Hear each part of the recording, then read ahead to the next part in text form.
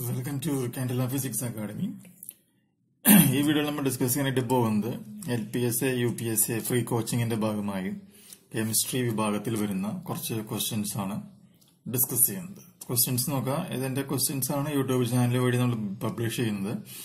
Answers as usual Candela L P S A U P S A എന്ന് പറയുന്ന നമ്മുടെ Telegram ചാനലിൽ അതിന്റെ കീ നമ്മൾ പ്രൊവൈഡ് ചെയ്യുന്നതായിരിക്കും. ഒരൊട്ടം കൂടെ എഴുതി വയ്ക്കാം C A N D E L A L P S A U P S A എന്ന് പറയുന്ന നമ്മുടെ ടെലഗ്രാം ചാനലിൽ ജസ്റ്റ് ഒന്ന് പോയി നോക്കി കഴിഞ്ഞിട്ടുണ്ടെങ്കിൽ ഇതിന്റെ കീ നമ്മൾ അതിൽ പബ്ലിഷ് ചെയ്തിട്ടുണ്ടായിരിക്കും ക്വസ്റ്റ്യൻസിലേക്ക് നമുക്ക് നോക്കാം. ഒന്നാമത്തെ ക്വസ്റ്റ്യൻ ഇതാണ്. The process by which a gas is converted to a liquid is called question പറയാം. The process by which a gas is converted to a liquid is called എന്നാണ് പറയുന്നത്. എന്ന് പറയുകയാണെങ്കിൽ ഒരു ഗ്യാസ് ഗ്യാസ് എന്ന് പറഞ്ഞ വാതകമാണല്ലോ. വാതകം എന്ന് പറയുന്നത് എന്തായിട്ട് മാറാണ്? ദ്രാവകം ലിക്വിഡ് ആയിട്ട് മാറാണ്. അങ്ങനെ വാതകം ദ്രാവകമായിട്ട് മാറുന്ന ആ ഒരു പ്രോസസ്സിനെ പറയുന്ന പേര് എന്താണ് എന്നാണ് ക്വസ്റ്റ്യനിൽ ചോദിക്കുന്നത്. മനസ്സിലായി എന്ന് വിചാരിക്കുന്നു. ഇപ്പൊ ഗ്യാസ് എന്തായിട്ട് മാറാണ് ചെയ്യുന്നത്? ദ്രാവകമായിട്ട് മാറാണ്. ദ്രാവകമായിട്ട് മാറുകയാണെങ്കിൽ ആ ഒരു പ്രോസസ്സിനെ പറയുന്ന പേര് എന്താണ്? രണ്ടാമത്തെ ക്വസ്റ്റ്യൻ നോക്കുക all bonds in benzene are equal due to all bonds in benzene are equal due to benzene എന്ന് പറഞ്ഞാൽ എന്താണ്? കെമിസ്ട്രിയിലെ ഓർഗാനിക് കെമിസ്ട്രിയിൽ വരുന്ന ഒരു പ്രത്യേക സ്ട്രക്ചറാണ് അതിന്റെ എല്ലാ കാർബൺ ആറ്റങ്ങൾക്ക് ഇടയ്ക്കുള്ള ഡിസ്റ്റൻസ് എന്ന് പറയുന്നത് എന്താണ്? ഈക്വൽ ആണെന്നാണ് പറയുന്നത്. അതിന്റെ കാരണം എന്താണ്? അതാണ് ക്വസ്റ്റ്യൻ അടുത്ത ക്വസ്റ്റ്യൻ നോക്കുക. മൂന്നാമത്തെ ക്വസ്റ്റ്യൻ നോക്കുക. Tetrahedral nature of bonding in carbon atom was first shown by tetrahedral എന്ന് പറയുന്നത് ബോണ്ടിങ്ങിൽ വരുന്ന ഒരു ടേമാണ് സോ ടെട്രാഹെഡ്രൽ ഷേപ്പ് എന്ന് പറയുന്നത് കാർബൺ ആറ്റത്തിലുണ്ട് എന്ന് ആദ്യം കണ്ടെത്തിയത്.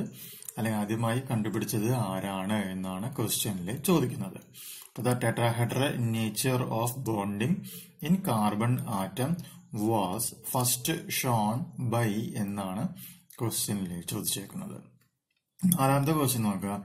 The Castner process is a process for manufacturing അതായത് കാസ്റ്റിനർ എന്ന് പറയുന്ന ആ ഒരു പ്രോസസ്സ് എന്തിന്റെ ഉൽപാദനത്തിന് വേണ്ടി ഉപയോഗിക്കുന്ന മെത്തേഡാണ്. ഓരോ വസ്തുക്കളും അല്ലെങ്കിൽ ഓരോ കെമിക്കൽ കോമ്പൗണ്ടുകളോ അല്ലെങ്കിൽ ഓരോ എലമെന്റ്സിന്റെ മാനുഫാക്ചറിങ്ങോ അല്ലെങ്കിൽ പല പല സംഭവമുണ്ടല്ലേ അതൊക്കെ നിർമ്മിക്കുവാനായിട്ട് നമ്മൾ എന്ത് ഉപയോഗിക്കുന്നുണ്ട് ഓരോരോ പ്രോസസ്സുകളുടെ പേര് പറയാറുണ്ട്. ഇപ്പൊ അമോണിയ അമോണിയ നിർമ്മിക്കാനായിട്ട് ഉപയോഗിക്കുന്ന പ്രോസസ്സ് ഏതാണ്?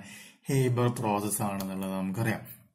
എന്ന് പറയുന്ന പോലെ കാസ്റ്റിനർ പ്രോസസ്സ് എന്ന് പറയുന്നത് എന്തിന്റെ നിർമ്മാണത്തിന് ഉപയോഗിക്കുന്നതാണ് എന്നാണ് ക്വസ്റ്റ്യനിൽ ചോദിച്ചിട്ടുള്ളത്. അഞ്ചാമത്തെ ക്വസ്റ്റ്യൻ നോക്കുക. The second lightest element is dash എന്നാണ് ക്വസ്റ്റ്യനിൽ ചോദിക്കുന്നത്. അതായത് രണ്ടാമത്തെ അപ്പൊ ഒന്നാമത്തെ എല്ലാവർക്കും അറിയാം ലിഥിയമാണെന്ന് അറിയാം. ലിഥിയം ഒന്നാം സ്ഥാനമാണെന്നുണ്ടെങ്കിൽ ലിഥിയത്തിന് ശേഷം വെയിറ്റ് കുറഞ്ഞിട്ടുള്ള ഏറ്റവും ലേറ്റസ്റ്റ് ആയിട്ടുള്ള എലമെന്റ് ഏതാണ്? അല്ലെങ്കിൽ ആറ്റം അല്ലെങ്കിൽ മൂലകം ഏതാണ് എന്നാണ് ക്വസ്റ്റ്യനിൽ ചോദിച്ചേക്കുന്നത്. ഒന്നെന്ന് പറയുന്നത് the second lightest element is dash ആറാമത്തെ ക്വസ്റ്റ്യൻ നോക്കുക. Helium was first isolated by ആരാണ്? ഹീലിയം എന്ന് പറഞ്ഞ ഹൈഡ്രജൻ കഴിഞ്ഞാൽ പീരിയോഡിക് ടേബിളിൽ വരുന്ന രണ്ടാമത്തെ എലമെന്റ് ആണ് ഏത്? ഹീലിയം. അപ്പൊ ഹീലിയം എന്ന് പറയുന്നത് ആദ്യമായി ഐസൊലേറ്റ് ചെയ്തത് അല്ലെങ്കിൽ കണ്ടുപിടിച്ചത് ആരാണ് എന്നാണ് ക്വസ്റ്റ്യനിൽ ചോദിച്ചേക്കുന്നത്. എട്ടാമത്തെ ഏഴാമത്തെ ക്വസ്റ്റ്യൻ നോക്കുക. Global warming is due to the release of dash എന്നാണ് ചോദിക്കുന്നത്. അതായത് ഗ്ലോബൽ വാർമിംഗ് അതായത് നമ്മുടെ അന്തരീക്ഷം ചൂട് പിടിക്കുന്ന ഒരു അവസ്ഥയുണ്ടെന്നുള്ളത് നമുക്കറിയാലോ. ആ ഗ്ലോബൽ വാർമിംഗ് ഉണ്ടാവാനായിട്ടുള്ള പ്രധാനപ്പെട്ട കാരണം അതായത് എന്ത് റിലീസ് ചെയ്യുമ്പോഴാണ് ചില പ്രോസസ്സിംഗ് നടക്കുമ്പോൾ ചില വാതകങ്ങൾ ചില സംയുക്തങ്ങൾ അന്തരീക്ഷത്തിലേക്ക് പോകുന്നുണ്ട്. അപ്പൊ അങ്ങനെയുള്ള ഏതിന്റെ സാന്നിധ്യം ഏറ്റവും അധികം കൂടുമ്പോഴാണ് നമ്മുടെ ഗ്ലോബൽ വാർമിംഗ് എന്ന് പറയുന്ന അവസ്ഥ ഉണ്ടാകുക എന്നാണ് ക്വസ്റ്റ്യനിൽ ചോദിച്ചേക്കുന്നത്. എട്ടാമത്തെ ക്വസ്റ്റ്യൻ നോക്കുക. Energy consists of impure emery emery emery consists of impure emery എന്ന് പറയുന്ന വസ്തുവിൽ അടങ്ങിയിട്ടുള്ള ഇംപ്യൂരിറ്റി എന്താണ്? ഇമ്പ്യൂരിറ്റി എന്ന് പറയുകയാണെങ്കിൽ എന്താണ്? അശുദ്ധമായ വസ്തുവിലേക്ക് നമ്മൾ എന്ത് ചെയ്യുന്നു? അശുദ്ധമായ എന്തെങ്കിലും പദാർത്ഥങ്ങൾ ചേരുമ്പോഴാണ് ആ ചേരുന്ന അതിനെയാണ് നമ്മൾ എന്ത് പറയാ? ഇംപ്യൂരിറ്റി എന്ന പേരിൽ റെപ്രസെന്റ് ചെയ്യുന്നത്.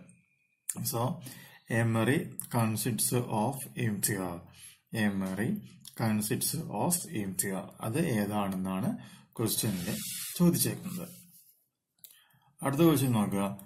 The principal constituent of glass is എന്നാണ് ചോദിച്ചേക്കുന്നത്.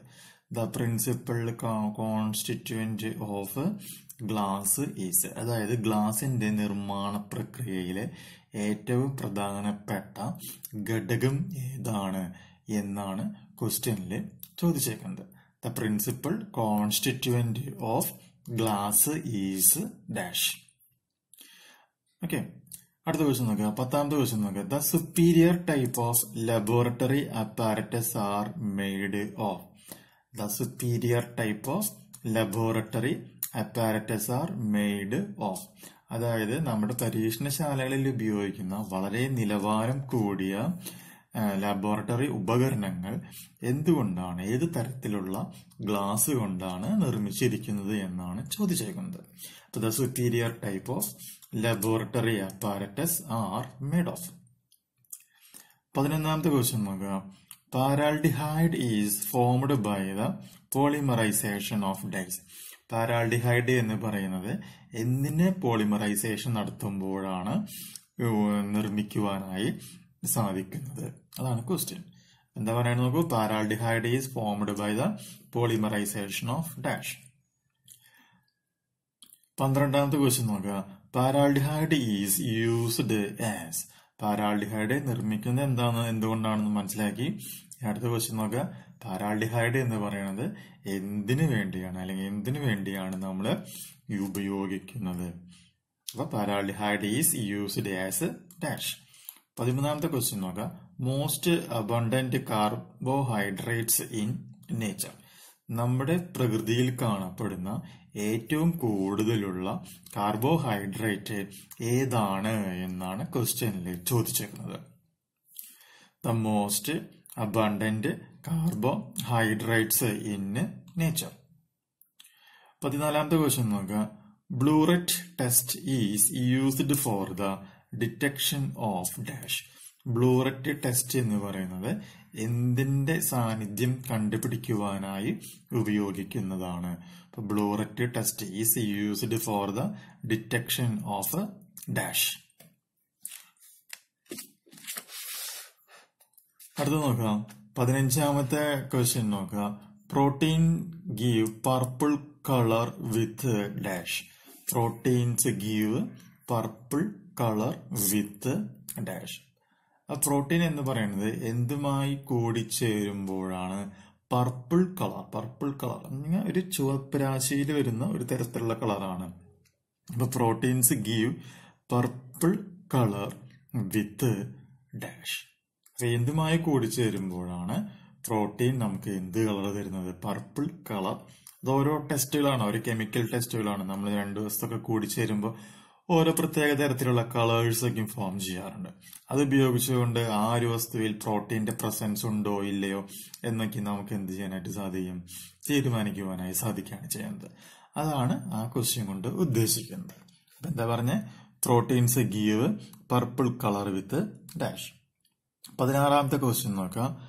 Carcinogenic chemicals are expected to cause carcinogenic chemicals are expected to cause അപ്പോൾ കാർസിനോജനിക് കെമിക്കൽസ് നമ്മുടെ ശരീരത്തിൽ ഉണ്ടെങ്കിൽ അത് എന്തിന് കാരണമാകും എന്നാണ് ക്വസ്റ്റ്യനിൽ ചോദിച്ചേക്കുന്നത്. അപ്പോൾ ഈ പതിനാറ് ക്വസ്റ്റ്യൻസിന്റെ ആൻസർ സ്വയം കണ്ടെത്തുവാനായിട്ട് ശ്രമിക്കുക. ആൻസർ കിട്ടിയില്ല എന്നുണ്ടെങ്കിൽ നിങ്ങൾ എന്ത് ചെയ്യുക?